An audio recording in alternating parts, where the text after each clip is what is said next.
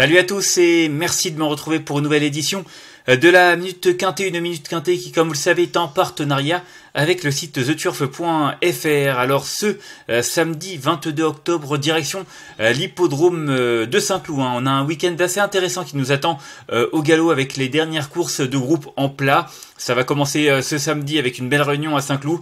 Il y aura bien entendu Critérium International ou Critérium de Saint-Cloud, mais également le Quintet Plus, hein, bien entendu The 5 chez notre partenaire le prix de Versailles qui sera support des paris la carte. voilà, un handicap divisé hein, comme d'habitude avec des 3 ans qui seront en scène euh, voilà, 1600 mètres à parcourir pour des poulains et pouliches qu'on connaît bien hein, à ce niveau-là, même s'ils sont jeunes. On les a déjà vus euh, s'illustrer euh, dans cette catégorie. On va rentrer dans le vif du sujet. Hein. C'est une course qui est prévue à 15h15. Moi, j'ai j'ai suivi la ligne tout simplement du 14 juillet. J'ai retenu du 14 septembre, pardon, j'ai retenu en tête le numéro 5 Twilight. Alors Twilight, il reste sur une très belle deuxième place. Comme je l'ai dit, c'était le 14 septembre.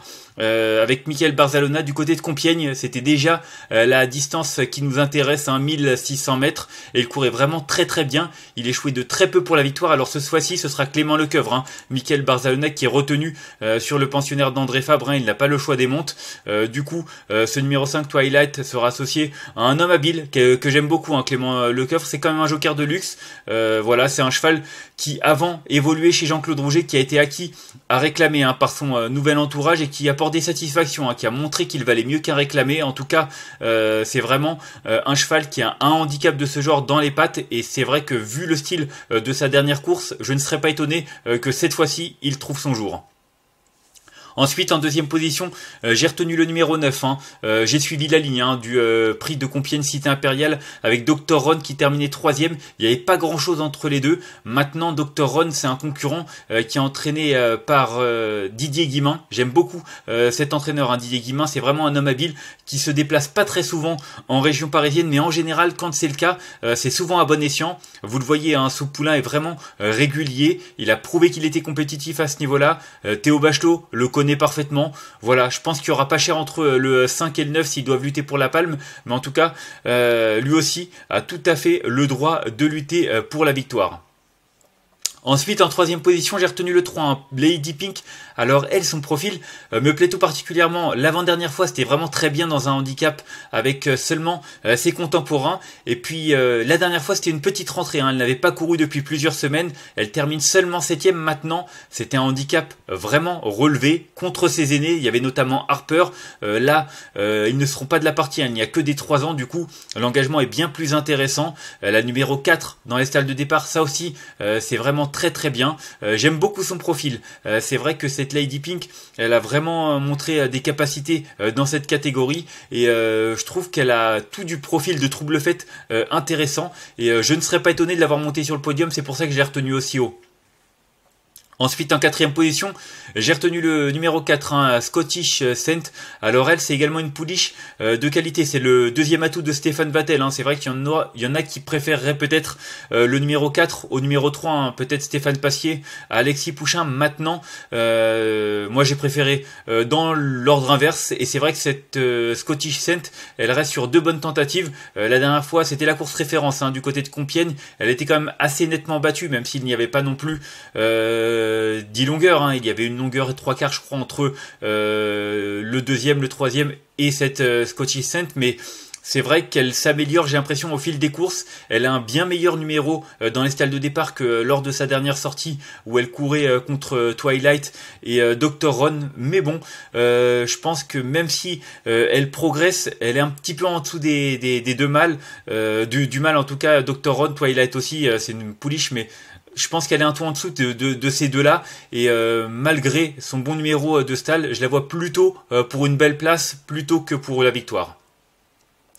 Ensuite, en cinquième position, j'ai retenu ce Great Rotation. Alors, Great Rotation, euh, pareil, c'est vraiment un cheval qu'on connaît bien à ce niveau de compétition. Vous le voyez, il est assez régulier. La dernière fois, il a terminé euh, quatrième d'un gros handicap. C'était sur 2000 mètres. Hein. Il était un petit peu rallongé à l'occasion de ce handicap. Maintenant, il retrouve un parcours sur lequel il s'est imposé. D'ailleurs, euh, sa seule victoire a été acquise sur ce tracé des 1600 mètres de la piste du Val d'Or. on a vu la dernière fois qu'avec les œillères, ça se passait plutôt pas mal.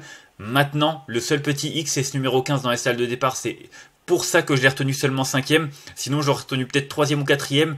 C'est un cheval qui est dans sa catégorie, qui a vraiment son mot à dire pour les premières places. Mais il va falloir composer avec ce numéro 15 dans les stalles de départ. Et c'est le seul petit bémol que je peux émettre euh, parce que c'est un concurrent qui a vraiment sa place dans le quintet. C'est pour ça également que je l'ai retenu cinquième.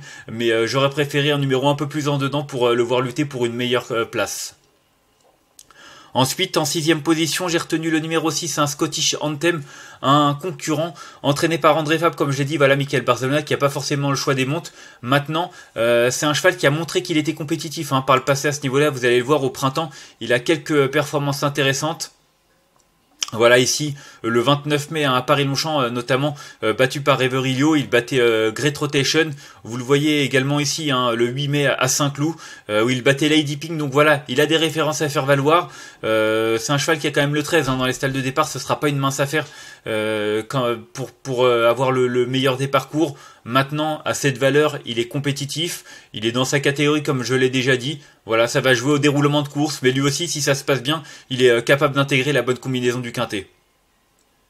Ensuite, en septième position, j'ai retenu le 13, hein, In the Mood, euh, qui est encore un peu neuf. Hein, vous le voyez, il n'a couru que 5 fois la dernière fois. Euh, c'était ses débuts euh, dans les handicaps. ça s'est plutôt pas mal passé. Hein, il est troisième. Là, il a un bon numéro dans les salles de départ. Ce sera Christian Demuro qui lui sera associé. Il n'a pas une grosse marge de manœuvre hein, malgré sa position en bas de tableau. il y a vraiment des concurrents un peu plus expérimentés que lui et ça va certainement être un peu difficile de lutter pour les premières places. Mais bon, si ça se passe bien que ce numéro 5 dans les salles de départ, en plus Christian Demuro est en grande forme euh, en ce moment, je pense qu'il est capable d'accrocher une 4-5e place. Et enfin, en huitième position, je suis resté en bas de tableau avec le numéro 15, un hein, pareil, un concurrent euh, qui est encore tout neuf, c'est tout simplement euh, le moins expérimenté. Il n'a couru que 4 fois ce nombre de 3 ans, mais c'était vraiment pas mal la dernière fois. Euh, c'était ses premiers pas dans le handicap, c'était sur 1400 mètres, hein. il a surtout couru sur 1300, 1400 mètres. je pense que passer sur 1600 mètres, ça peut jouer en son avantage parce que sa fin de course était vraiment plaisante la dernière fois. Peut-être qu'en allongeant la distance, ça peut lui permettre de finir un peu plus près. En tout cas, c'est vraiment un outsider très séduisant en bas de tableau. Je vois pareil, hein, plus pour une 4-5e place. Euh, parce qu'il y a des concurrents plus expérimentés et plus aguerris à ce niveau-là, euh, mais je ne serais pas étonné euh, de le voir prendre une petite place à une cote spéculative. Et enfin, en cas de non partant, j'ai retenu le numéro 2, hein, la Loire, euh, qui vient de se révéler à ce niveau-là en s'imposant d'entrée de jeu pour, dans les handicaps. Maintenant, euh, elle a été un peu pénalisée. Euh, faut voir ce que ça donne. Numéro 14 dans les salles de départ, pareil, c'est pas forcément évident.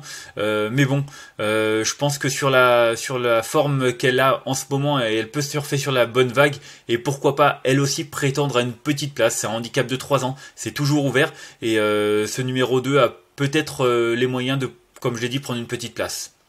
On va faire un petit récapitulatif hein, de ma sélection avec le numéro 5 euh, que j'ai retenu euh, devant le numéro 9, le 3, le 4, l'As, le 6, le 13 et le 15. Et en cas de non partant, le numéro 2. Voilà, vous savez tout en conseil de jeu. Bah écoutez, euh, le j'ai repris la ligne 5, hein. 9. Euh, moi j'ai retenu, le 3 en troisième position, mais honnêtement, si vous cherchez une base un peu plus sûre, peut-être le numéro 4, l'autre pensionnaire de Stéphane Vattel. Reprenez la ligne de, de Compiègne, hein, 5, 9, 4. c'est vraiment euh, les trois chevaux qui ont très bien couru le 14 septembre dernier. Donc voilà, je pense qu'avant le coup, ils devraient répéter. Euh, vous le savez, hein, nous sommes en partenariat avec TheTurf.fr qui vous offre jusqu'à 250 euros pour toute nouvelle ouverture de compte auquel nous ajoutons euh, 3 mois d'abonnement VIP au site turf-fr.com. Donc voilà, si vous voulez en profiter, n'hésitez pas à cliquer euh, sur l'un des nombreux liens que vous trouverez sur notre plateforme.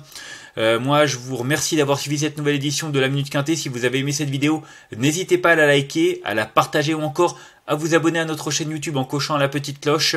Euh, voilà, vous pouvez également laisser votre pronostic en commentaire. Il y a un tirage au sort parmi tous les commentaires chaque mois, avec à gagner 6 mois d'abonnement VIP au site turf-fr.com.